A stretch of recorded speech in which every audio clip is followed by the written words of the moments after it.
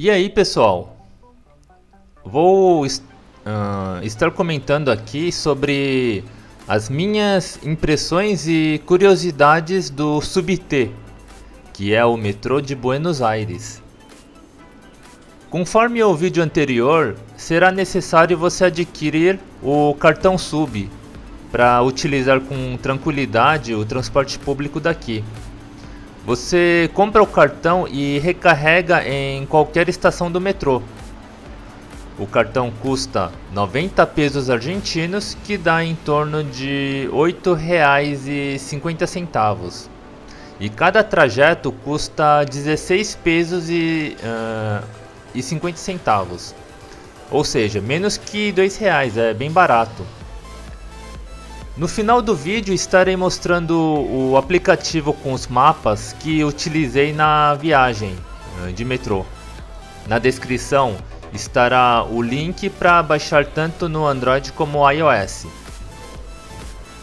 Vocês poderão verificar que as estações são bem antigas, já que a primeira linha desta rede foi inaugurada em 1913 as estações eram uh, pequenas, apertadas e bem antigas em alguns pontos. Outros trechos eram um pouco sujas e não tinha tanta mobilidade para pessoas com deficiência física. E se você estiver com malas grandes, vai ter um pouco de dificuldade para circular. Nesses aspectos que comentei, ele lembrava muito o metrô de Nova York.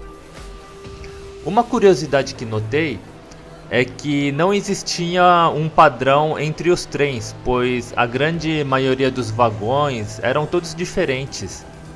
A posição da cadeira, uh, o teto, uns eram mais altos, outros eram mais baixos. Tanto é que eu com 1,80m de altura, eu batia a minha cabeça no teto da porta.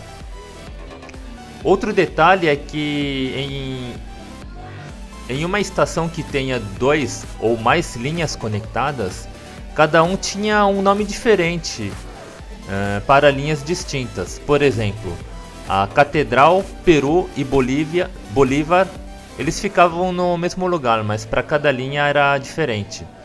Isso eu achei meio estranho, pois aqui em São Paulo, por exemplo, a estação Sé do metrô é igual tanto para a linha vermelha ou para a linha azul o que não ocorre em Buenos Aires.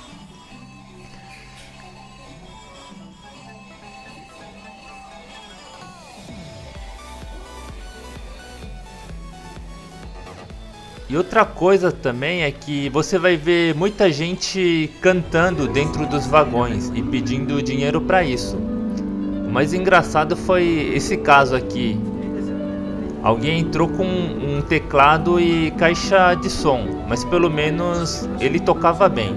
Foi bem diferente. Então, essas são as curiosidades do metrô de Buenos Aires. Logo a seguir, estarei mostrando o aplicativo do metrô, um passo a passo.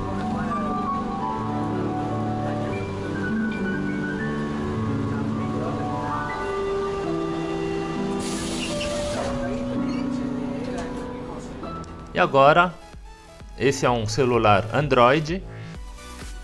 Você vai no Google Play e vai digitar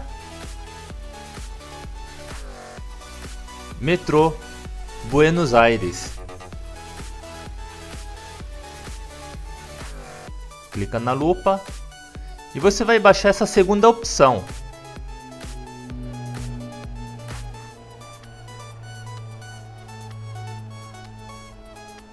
que no meu caso eu já baixei. É feito pelo por este desenvolvedor, Discover Ukraine LLC.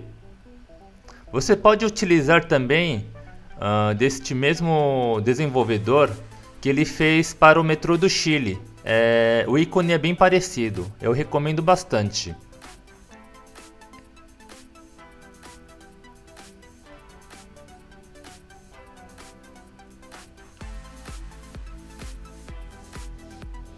E agora no aplicativo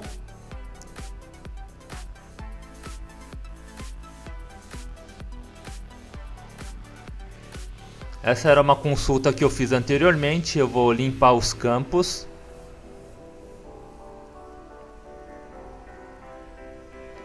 E você no front, que é onde você está, vai digitar o nome da estação. Como exemplo, eu vou colocar a catedral.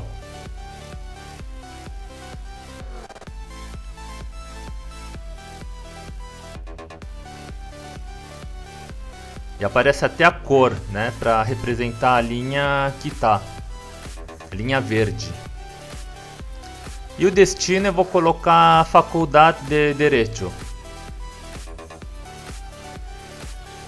Que é onde tem a Floralis genérica. Então vai aparecer o trajeto com as estações, onde você deve fazer a baldeação E você clicando na setinha para baixo, vai aparecer o preço da passagem e tem o número 1, 2 e 3, que seriam as outras opções disponíveis. A 2 é você pegando a linha azul com amarela e a opção 3 pegando a linha roxa com amarela. Então, a opção 3 é a mais longa e a opção 1 é a mais curta. Então, opte pela opção 1 embaixo o detalhado de cada estação e onde deve efetuar a, a troca, o transfer.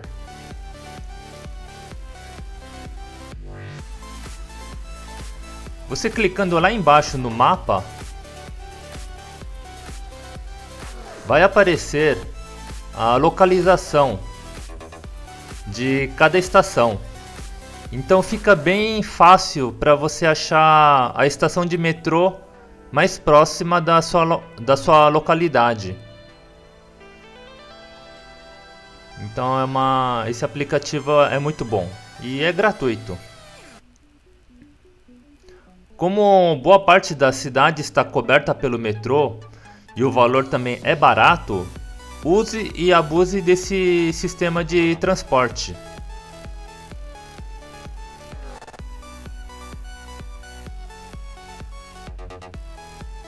Agora eu vou simular um outro exemplo.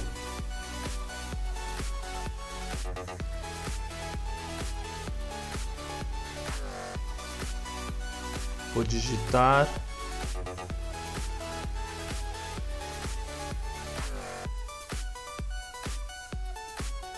É, celular está um pouco lento. Faculdade de Medicina. Então vai aparecer o trajeto, a distância e o tempo estimado.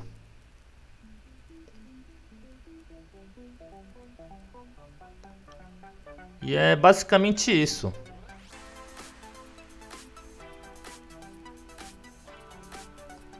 Clicando lá no X vai aparecer uh, todas as linhas disponíveis em Buenos Aires, que é tudo isso aí e toda a rede de metrôs da, da cidade. Uh, espero que vocês gostem do vídeo, curtam e se inscrevam no canal. Valeu!